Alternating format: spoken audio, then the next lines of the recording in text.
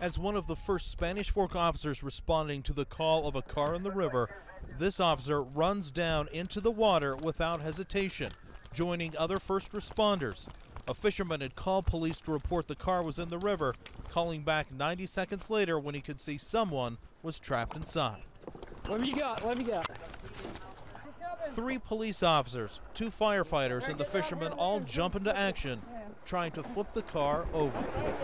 Let's go, guys! Come on! Let's go, guys. Don't get squished. Come on! Keep pushing.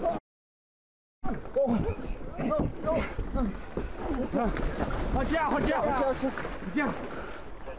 Tragically, they can see the driver, Jenny Groesbeck, was fatally injured in the crash. But the situation was about to take on an even greater sense of urgency. Anybody hear us? Oh! There's a baby. There's a bear, Brian. Brian, get up here, though. Moments later, a firefighter pulls what seems to be a small, lifeless body out of the car. Got it? Got it?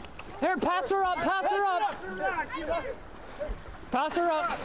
Here, right here, right here. Go, Go, go, go, The officer and an EMT carry Lily up the rocks and run to a waiting ambulance. Come on, baby. She's definitely hypothermic. She's freezing. Throw up in there. Here, go. Let's go. The officer starts patting her on the back, hoping she will start to breathe, and gives Lily encouragement to live. Come on, sweetie. Come on, sweetie. They begin giving Lily infant CPR and trying to warm her up as the ambulance rushes to the hospital. No one can feel a pulse. We're almost there. Are you getting a pulse? Couldn't feel any. As the ambulance arrives to Mountain View Hospital, just six minutes after Lily was pulled from the car, there's a sign of life. That's all right.